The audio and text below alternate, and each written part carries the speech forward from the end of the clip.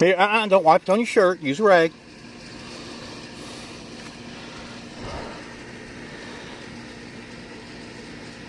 All right, you got four more.